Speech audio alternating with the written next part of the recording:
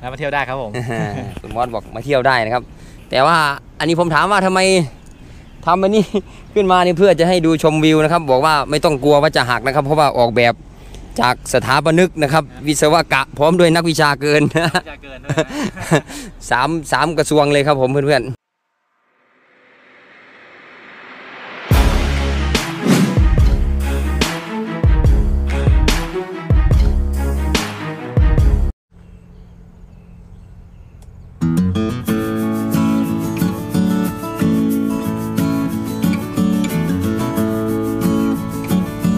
สวัสดีครับ ยินดีต้อนรับเข้าสู่คมระทวย channel นะครับผู้ดำเนินรายการผมนิคมลิภาครับวันนี้ผมอยู่กับคุณมอสนะครับซึ่งเป็นเจ้าของฟาร์มการเกษตร ที่อยู่กลางเมืองพัทยานะครับ วันนี้ผมจะมาขอเทคนิควิธีการ คือการปลูกสลัดแบบไม่ต้องมีโรงเรือนนะครับ ครับผมเดี๋ยวรบกวนคุณมอสนำทางเลยครับผมอ่าเดี๋ยวยังไงไปไปดูแล้วกันก่อนที่จะไปดูสัตว์จริงๆเดี๋ยวมาดูวิธีการทำปุ๋ยอะไรก่อนแล้วคกัรับน ผมครับผมโอเคขอบครับคุณครับขอบคุณครับ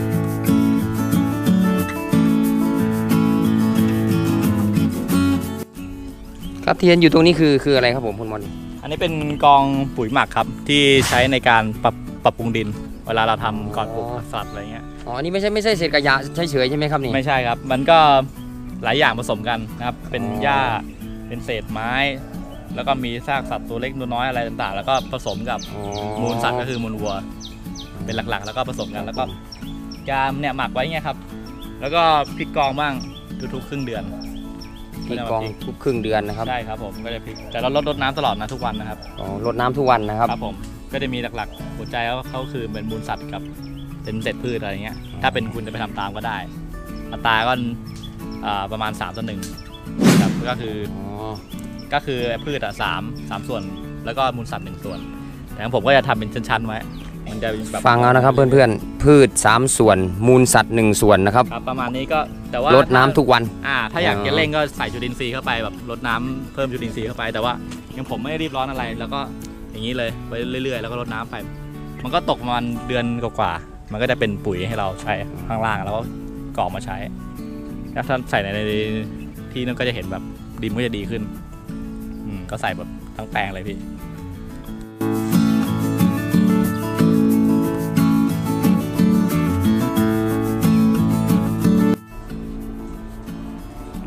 ครับในส่วนตรงนี้คุณมอสบอกว่าเป็นเป็นโรงปุ๋ยนะครับครับผมนะฮะอ่ารบกวนคุณมอสแนะนำหน่อยครับผมครับตอนนี้ก็จะเป็นส่วนของอาหารไส้เดือนนะฮะก็จะใช้เป็นของผมจะใช้เป็นอ่าเชื้อเห็ดเก่านะครับที่หมดอายุแล้ว ผสมกับมูลวัวเหมือนกันอัตราก็หนึ่งต่อหนึ่งครับผมหมักไว้ประมาณ 1 เดือนเหมือนกันครับ พอจนรอเขาเย็นเขาแบบว่าเข้ากันอ่าแล้วเราก็จะมาให้ไส้เดือนกินอ๋ออันนี้คือต้องหมักไว้ให้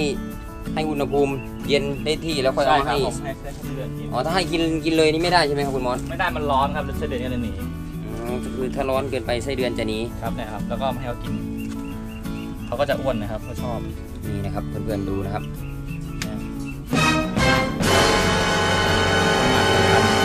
AF ครับ African Night Crawlerไม่ใช่ AF Academy นะครับเพื่อนนี่นะฮะๆ คือคืออะไรนะครับพันธุ์อะไรนะครับคุณมอสกลับมาอีกครั้งหนึง AF ครับ African Night Crawler ครับผม African Night Crawler นะครับเพื่อนเป็นพันธุ์ที่เขานิยมเลี้ยงกันทั่วไปเลยครับอ่าปกติมี4ชนิด แต่ว่าเราเลี้ยงชนิดเดียวชนิดนี้ก็เขาก็ให้ปุ๋ยเราไวแล้วก็ขยายพันธุ์ได้ไวนะก็จะเลี้ยงไว้ อันนี้คือเลี้ยงไว้ใช้หลักๆในฟาร์มเลยๆโอ้อันนี้ก็คือมีมีจำหน่ายไหมครับเนี่ยที่เยอะๆมีอย่างครับนี้ก็จำหน่ายครับปกติก็ขายขายถ้าคนมาซื้อขายทั้งตัวทั้ง ทั้งหมดอ๋อก็คือเลยอันนี้เป็นเป็นอาชีพเสริมได้ด้วยรับใช่ครับเป็นอาชีพเสริมอ๋อเพราะว่าปกติก็มีคนมาซื้อตลอดอยู่แล้ว ก็คือซื้อทั้งมูลแล้วก็ตัวเนี่ยเขาจะซื้อครับครับแล้วก็จะแพ็คส่งเขาแล้วก็จะมีที่ผมบอกก็คือน้ำหมักปลาอีกตัวน้ำหมักปลาทะเลที่เป็นหัวใจในการที่จะทำให้ผักเราโตครับผมครับผมประมาณนี้ครับสามตัวนี่อันนี้คือเครื่องอะไรครับนี่อันนี้เครื่องร่อนไส้เดือนครับโอ้ก็จะมีมีหมุนได้ครับเนี่ย อ๋อ อันนี้คือเครื่องแยกแยกกลากว่างั้นเถอะครับอ๋อผมแต่ว่ามันจะค่อนข้างถ้าหมุนเร็วมันก็จะไม่ค่อยละเอียดเราต้องแยกประมาณ 2 รอบถึง 3 รอบอ๋อก็คือพอเราก็ลองไว้ อันนี้ก็จะเป็นเศษลงข้างล่าง ที่เป็นมูลอะดูไว้นะครับสำหรับปลายปลายๆก็ใช้เป็นไส้เดือนตัวครับเดือนลครับงไปสำหรับท่านไหนที่สนใจนะครับวันนี้ก็มีลิขสิทธิ์ไหมครับคุณมอสมีลิขสิทธิ์ไหมไม่มีครับผมไม่อันมีนี้ก็ลิทำขสิทธิ์นะครับอืมเคครับ ส่วนตรงนี้ก็คือเป็นโรงเพาะที่เป็นแบบว่ากลางแจ้งเลยครับ เราจะไม่ได้มีสแลนอะไร ไม่มีสแลบเพราะว่าฝึกให้เขาอยู่กลางแจ้งตั้งแต่เด็ก แต่ว่าเราก็จะดูแลเรื่องความชื้นตลอดเวลา ก็คืออยากให้หน้าดินเขาแห้งครับ ก็คือไม่ให้หน้าดินแห้ง อ่าสูตรสูตรดินก็มีพินมอสกับพินเดือนของเราเองนะฮะครับผมก็จะเพาะเนี่ยครับเนี่ยที่ตรงนี้อันนี้ก็จะเป็น 5 ชนิดเลยเพาะให้ลูกค้า มี green oak red oak อ่า cos frillice แล้วก็ rocket อ่า นี่ก็มีหัวขายนะ ขายต้นต้นกล้าอ๋อขายต้นกล้าก็ขายนะครับ ใช่ครับ ถ้าใครสนใจมาได้เลยครับที่แถวๆละแวกในยชลบุรีอะไรก็มาบ้านผมได้เลย สั่งได้เลยใช่ไหมครับใช่ครับผม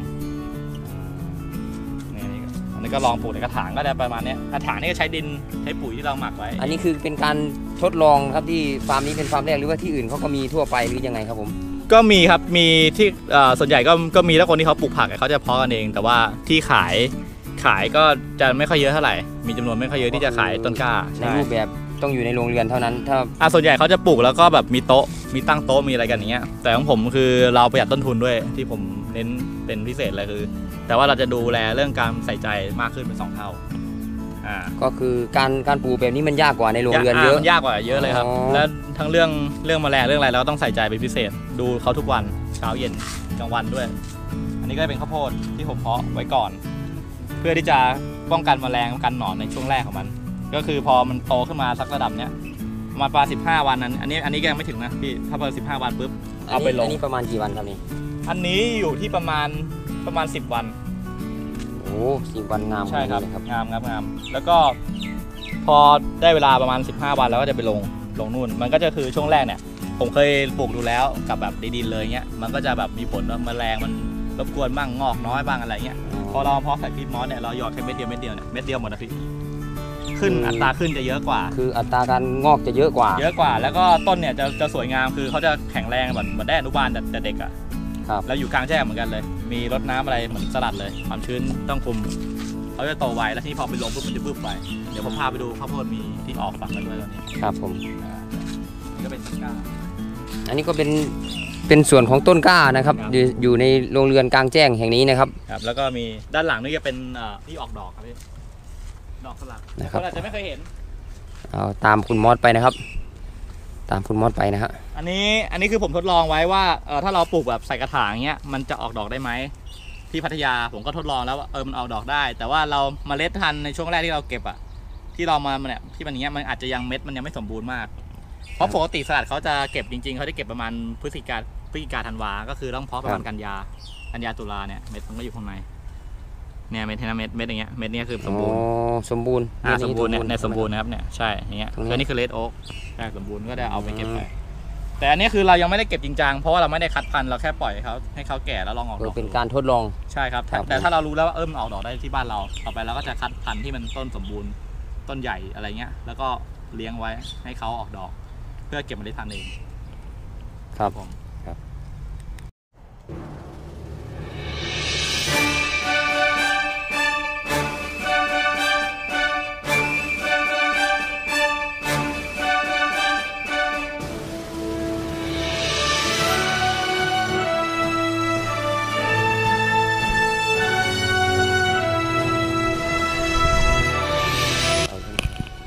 ครับตอนนี้ก็ ต้อนรับสู่โรงผักสัตว์นะครับ ครับซึ่งตอนแรกเนี่ยผมทำไว้มีหลังคา มีอะไร แต่ว่าพอหลังจากหน้าฝนมาหน้าหนาวนี่ผมก็เลยทดลองแบบปลูกแบบว่าไม่ต้องมีหลังคาเลยครับ ก็คือเป็นเป็นลมเหมือนกลางแจ้ง แต่ว่ามุ้งที่ที่กันอยู่เนี่ยคือกันสุนัข อ๋ออันครัที่บใส่หลัอก ยู่นี่คือใช่ครับการสุนัขใช่ใช่ครับอ๋อคือไม่ได้ไม่ได้ไม่ได้ทำหลังคาให้ผักนี่ก็คืออา แค่เอาขอบขอบๆก็พอ ใช่ครับขอบว่าก็จะเห็นว่ามันมันลงแมลงอะไรมันเข้ามาได้ปกติ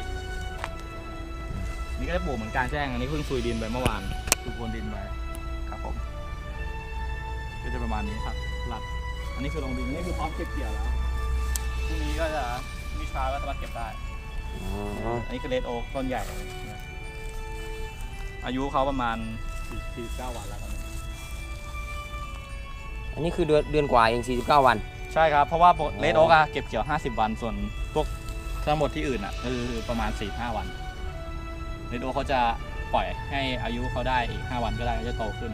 อีกหน่อยหนึงดีโอเคทรงสวยครับสวยสวยสวยที่เหลือเราก็จะปลูก ที่เห็นแหว่งๆนั้นไม่ใช่อันนั้นเลดโอ๊กเหมือนกัน แต่พอสีแดงเขาจะตัดกับสีดินๆไงหมายถึงว่าเขาจะแบบกลืนกันอ๋อคือปลูกสลับชนิดกันลองดูอ่าก็ปลูกแบบปลูกเรื่อยๆพี่เป็นขอบไว้ขอบหนึงอาจจะมีสองสองสามชนิดอะไรเงี้ยก็ว่ากันไปประมาณนี้ดูไปเรื่อยๆครับแล้วก็เทคนิคที่เราไว้หญ้านี่อันนี้ก็ ไม่ใช่ว่าเราขี้เกียจหรืออะไรนะพี่คือทดลองแล้ว ว่าถ้าไม่ไว้เนี่ยแมลงมันรบกวนมากกว่า อ๋ออาอันนี้คือล่อแมลงให้ไปไปทั้งอื่น อ่าแล้วอื่นด้วยแล้วก็บางทีเข้ามาเนี่ยเขาก็จะมีที่อยู่ของเขาไงเขาจะไม่ร้อนเขาจะอยู่ในที่ที่มันชื้นชื้นและเย็นกว่า ก็คือในหญ้าแมลงก็ชอบที่ชื้นที่เย็นอะไรเงี้ยเขาจะอยู่ในที่ชื้นที่เย็นของเขาซึ่งบางทีเขาไม่จะไม่มารบกวนบนแปลงเรามากมากมากขึ้น เพราะว่าบนแปลงเราไม่ได้ไม่ได้ปูอะไรด้วย มันก็โล่งๆอย่างนี้แล้วก็เลย แมลงเขาก็อยู่ข้างๆ อยู่ตามทางเดินเราก็เลยไม่ต้องที่จะถ่างหรืออะไร แล้วมันมองก็เป็นแบบบรรยากาศดีจะด้วยจะดูเหมือนจะลกๆหน่อย แต่อ่าคือรจกๆหน่ริงอยๆมันมีเหตุผล มีเหตุผลแล้วก็ชุ่มครับ ชื้นนะพี่ เพราะว่าหญ้านี่เขาเก็บความชื้นดี อ๋ออ่า มันก็ส่งผลต่อสลัดด้วย ส่วนเพราะข้างนอกเดี๋ยวผมจะพาไปดู ตอนทดลองข้างนอกนี่คือยังไม่ค่อยมีหญ้ามันก็จะค่อนข้างรดน้ำบ่อยหน่อย ครับอ่า เดี๋ยวเราพาไปดูโอเคครับ ครับไม่ว่าจะเป็นกรีนโอ๊กเลดโอ๊กหรือฟินเล่นะครับเนี่ย สามารถปลูกได้ในแบบที่ไม่ต้องใช้โรงเรือนนะครับ คือคุณมอสบอกว่าโรงเรือนที่เห็นนี่ก็คือแค่กันสุนัขไม่ให้เข้ามาคุยเขียนะครับกันสัตว์เลี้ยงชนิดอื่นเข้ามานะครับนะครับแต่หญ้าที่รกๆก็มีเหตุผลนะครับ คือล่อแมลงให้ไปไปอยู่ที่หญ้านะครับ ครับผมตรงนี้ก็จะเป็นแปลงที่เราปลูกผักสลัดแบบกลางแจ้งแต่ว่าโล่งจริง ๆ ก็คือทดลองดูว่าเราจะดูแลเขาไหวไหม ซึ่ง ซึ่งหลักๆ แล้วสลัดเขาต้องการความชื้นที่มันต่อเนื่องครับ แล้วก็แบบว่าไม่ให้มันเสียความชื้นเลยพราะวันนี้ผมทดลองทดลองแบบว่าไม่มีอะไรคุมคุมดินด้วยปกติถ้ามีฟางก็จะช่วย support เขาได้ดีขึ้น แต่นี่คือเราลองดูว่าเราจะดูแลเขาได้ได้ดีขนาดไหน ในในสภาพอากาศของเมืองพัทยาที่มันค่อนข้างร้อนในช่วงนี้ด้วย แล้วก็อันนี้ก็จะเห็นเป็น red oak กับ green oak ครับปกติ อันนี้เพิ่งลงไปประมาณจากจากอ่าที่ถาดเพาะมานี่ก็ประมาณ4ี่ห้าวันละ ประมาณนี้ที่ก็ลงไว้ แล้วก็ ก็จะเห็นไปเห็นไหมพี่มันก็จะเราดูแลเรื่องความชื้นตลอดเวลา ซึ่งดินที่เราเตรียมก็คือนั่นแหละ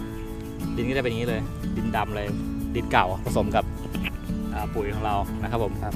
แต่ว่าไม่ได้มีส่วนผสมอะไรเพิ่มไม่มีแกลบไม่มีอะไรเลย เพราะว่าดินมันก็ค่อนข้างที่จะไม่ได้แข็งใช่ไหมครับจับลงไปก็ไม่ได้แข็งค่อนข้างนุ่มอยู่แล้ว ก็ปลูกผักสลัดได้ครับเดี๋ยวเรามามาลองดูกันว่าอีกประมาณหนึ่งเดือนพี่ หลังจากนี้ดูกันว่ามันจะโตได้ขนาดไหนครับแล้วก็ที่เห็นเป็นข้อก็คือเนี่ยแหละเหมันเดิมกันสุนัขด้วยกันสุนัขอย่างเดียวเลย ใช่ครับ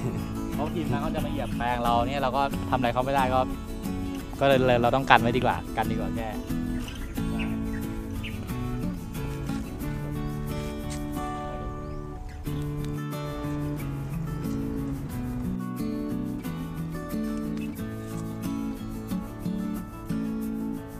ครับผมตรงนี้ก็เป็นแปลงข้าวโพด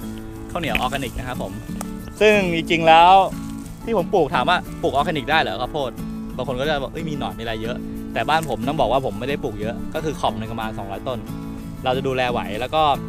หลักๆเรื่องโรคเรื่องเรื่องโรคอะถ้าเราปลูกแบบออร์แกนิกแล้วแบบบำรุงดินดีเงี้ยโรคก็จะน้อยอยู่แล้ว ส่วนอีกอย่างหนึงคือเรื่องแมลงคือหนอนก็ผมก็จะโดนเหมือนกัน แต่ผมจะใช้มือนะพี่ใช้คนกับผม แล้วก็มีเพื่อนๆเนี่ยมาคอยดึงหนอนออกเลย ตั้งแต่เขายังเด็กๆเลยแล้วก็ดูดูไข่เขาอย่าให้เขาระบาดก็จะประมาณนี้ส่วนปุ๋ยที่ใช้ก็สองตัวที่ผมทำมีไส้เดือนกับไอ้ปุ๋ยปรับปรุงดิน แล้วก็ฉีดน้ำหมักปลาแค่บางช่วงที่เขาจะเติบโตขึ้นมาแต่พี่เดินดูมันก็จะต้นประมาณนี้อันนี้ก็อีกประมาณไม่กี่วันไม่ถึง 20 วัน ก็ก็จะได้จะได้เก็บแล้วเพราะเขาเริ่มออกมาเป็นออกฝักออกอะไรแล้ว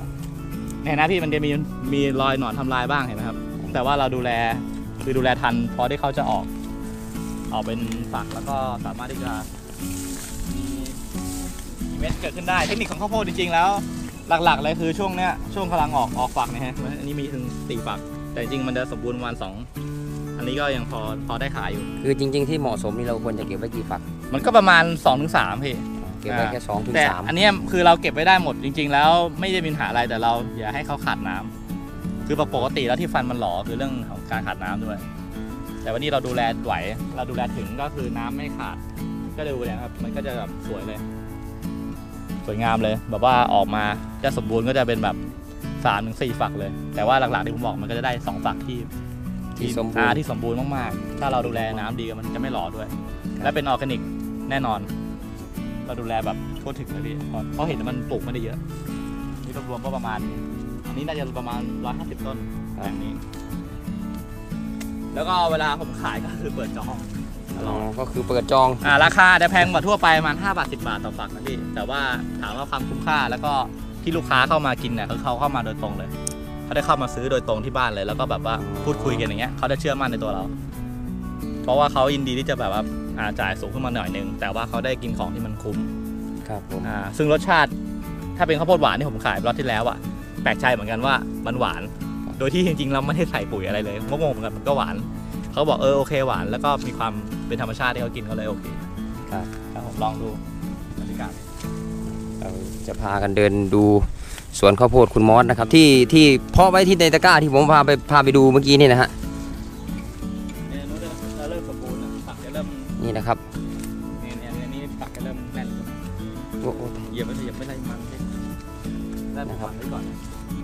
ก็เป็นข้าวโพดนะครับ ถ้าอยากได้ต้องเปิดจองนะครับคุณมอสบอก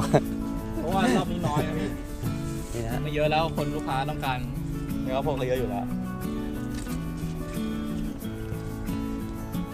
ครับผมอันนี้ก็จะเป็นโซนอ่าพวกมะละกอกล้วยครับที่เป็นออร์แกนิก ก็คือหลักๆ เทคนิคการดูแลเราก็คือจะใช้เศษไม้เศษหญ้าเนี่ยผมดินไว้นะครับ ปุ๋ยก็ถ้าพูดตรงๆก็ใส่ไอ้แค่ปุ๋ย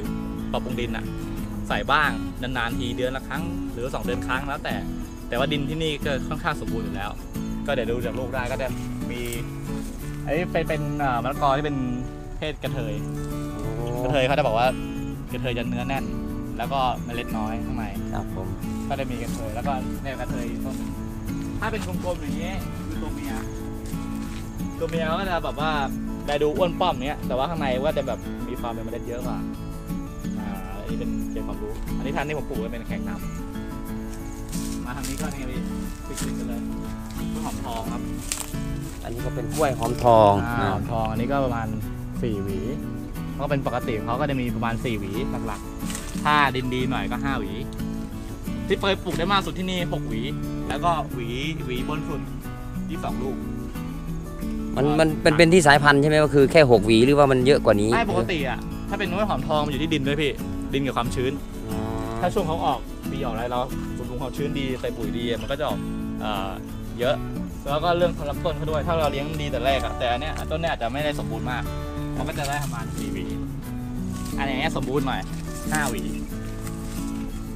เวลาสูงหน่อยก็ห้าขึ้นมาห้า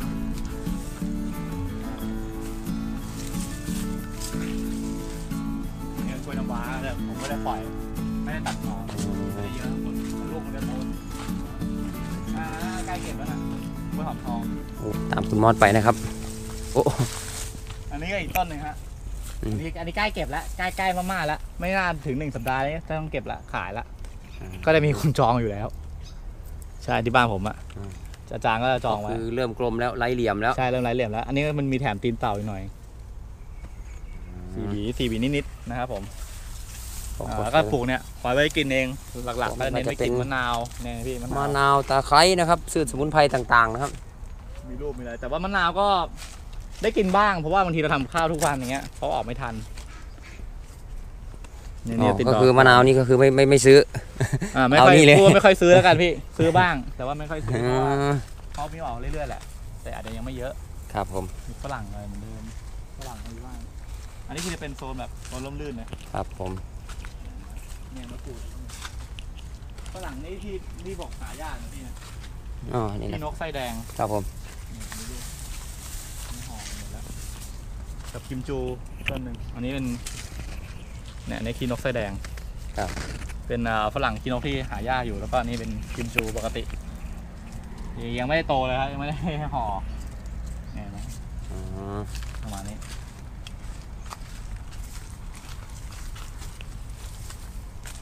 สินค้าก็ยังพออยู่นะพี่ นี่มาครั้งก่อนๆมีบ้าง ก็คือพัฒนามากครับผม ผมมานานแล้วครับ เนี่ยนี่ฟาร์มนี้ผมมานานแล้ว มะรุมที่เห็นปลูกเยอะนี่ ไม่ได้เอาเก็บฝากแต่ว่ากินยอดเลย เพราะบ้านผมก็แม่ชอบทำแกงเผ็ดแกงคั่วอะไรเงี้ยที่ใช้ใบมะรุมอะยอดมะรุมเนี่ยแล้วนั้นเราครัจะบ ตัดยอด ไม่ให้เขาไม่ให้เขาสูงแล้วก็ให้เขาผลิตใบยอดออกมา อ๋อจะกินใบ อ่ากินใบแล้วแม่อ๋อทำข้าวอร่อยมาก คือกินไม่ได้กินบ่อยนะพี่ท สัปดาห์ละครั้ง หรือว่าสองสัปดาห์ครั้งเนี่ยเป็นแบบเป็นบำรุงร่างกายเป็นยามาลุมกินใบ ใช่กินเป็นยานี่มี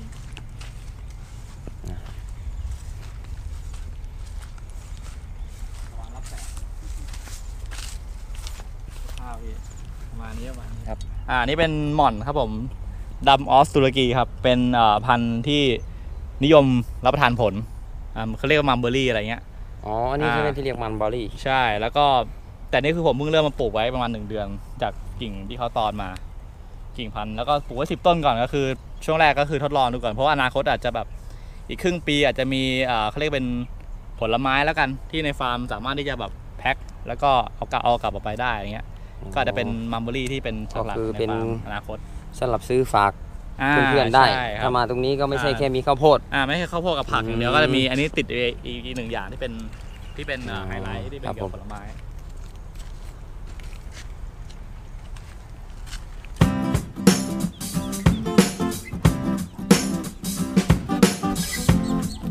ครับอันนี้ก็เป็นส่วนของ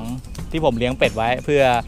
มันเป็นเหมือนเงินออมภายในบ้านด้วย แล้วก็ครับ สามารถเก็บเศษผัก เศษอะไรที่เราเหลือเงี้ยเราไม่ต้องทิ้งเศษอาหารเนี่ยเราให้เขากินเลย แล้วก็ประหยัดประหยัดต้นทุนก็คือเขากินแต่แบบพวกเศษอาหารจากร้านอาหารของโรงเรียนแล้วก็โรงแรมแกงข้างๆบ้านผมก็จะคือเลี้ยงแบบนี้เลยปล่อยธรรมชาติตัวอาจจะไม่ได้ใหญ่มาก แต่ว่ามันก็เป็นตัวหนึ่งผมขายโลละร้อยก็คืออยู่ได้ ไม่ได้มีปัญหาเพราะว่าต้นทุนเราค่อนข้างถูกมากต้นทุนต่ำครับแล้วเขาเป็นเป็ดที่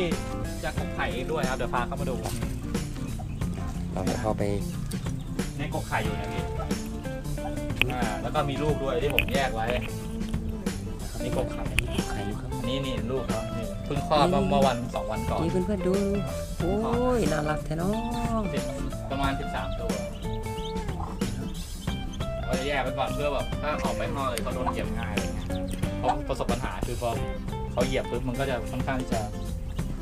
ต้องแบบว่าตายง่ายพี่นะในไข่เราโอ้ เรื่องไข่นะ ครับผมเราเข้ามาดูกันได้ถึงเล้าเป็ดเลยนะครับเพื่อนคืออนาคตถ้าถ้าเรามีเอ่อเป็ดเยอะขึ้นอย่างเงี้ยเราก็จะเก็บไข่ขายเพราะไข่เขาเนี่ยเราได้ทดลองกินดูแล้วอะไรดูแล้วทุกอย่างคือเหมือๆนตัวนี้กำลังฟักอยู่ใช่ไหมครับ ใช่อันนี้คือเราปล่อยฟักเพื่อที่จะเอาลูกเขาเยอะๆเนี่ยครับพี่เนี่ยอัตัวนี้ก็ เขายังไม่ฟักนะดูอันนี้ตัวนี้ก็ฟักนะครับเนี่ยนี่นี่คือเขาเขาไข่เรื่อยๆ จนเขาพอใจเขาถึงจะฟักเขาถึงจะกอ๋บออันนี้คือมันเอาไว้เยอะมาก คือถ้าเราเอาไปกินตอนนี้กินได้ เพราะว่าเชื้ออะไรยังไม่เดิน เขายังไม่ได้กบครับคือกินแล้วรสชาติก็คือเหมือนกันเลย แต่ว่าของผมถ้าเลี้ยงแบบอย่างเงี้ย มันจะไม่มีหัวอาหารก็คือไข่ไข่แดงอาจจะไม่ค่อยแดงครับ แต่ว่าเรื่องความคาวน้อยนะแล้วก็อารมณ์เหมือนเรากินไข่ไก่ที่มันใบใหญ่กว่าเดิมอ่าประมาณนี้คือไข่แดงก็ใหญ่กว่าเดิมครับ ครับผมแล้วก็ไข่ก็เหนียวเหมันไข่เป็ดทั่วไปประมาณนี้ว้าว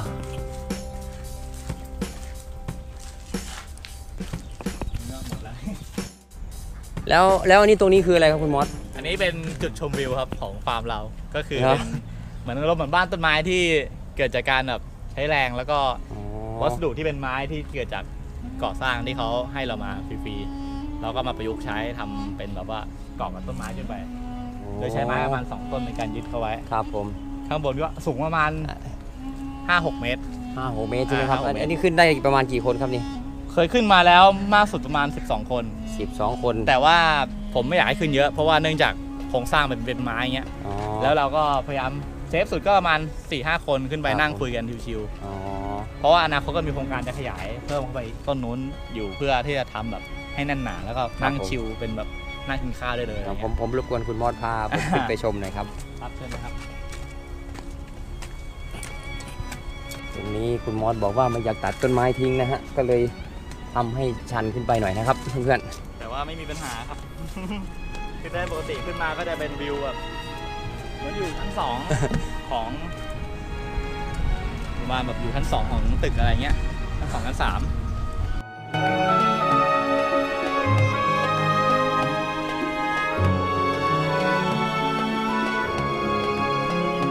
ครับสำหรับคลิปนี้นะครับ ผมก็ต้องขอ ขอบคุณคุณมอสไว้เป็นอย่างมากนะครับที่ให้ความรู้เกี่ยวกับเรื่องการปลูกสลัด แล้วก็อ่าเก็บความรู้เกี่ยวกับการปลูกพืชในส่วนต่างๆนะครับของฟาร์มนะครับก็ขอขอบคุณคุณมอสมากครับขอบคุณครับแล้วมาเที่ยวได้ครับผมคุณมอสบอกมาเที่ยวได้นะครับ แต่ว่าอันนี้ผมถามว่าทำไมทำอันนี้ขึ้นมานี่เพื่อจะให้ดูชมวิวนะครับ บอกว่าไม่ต้องกลัวว่าจะหักนะครับ เพราะว่าออกแบบ จากสถาปนิกนะครับ วิศวกะพร้อมด้วยนักวิชาเกินจะเกินด้วยสามสามกระทรวงเลยครับผมเพื่อนๆ ขอเชิญนะครับ ที่ฟาร์มคุณมอสนะครับบ๊ายบายครับ ขอบคุณที่รับชมทุกท่านครับ ครับอันนี้ก็เป็นโซนเป็นไม้ประดับที่เขานิยมกันก็จะเป็นพวกกระบองเพชร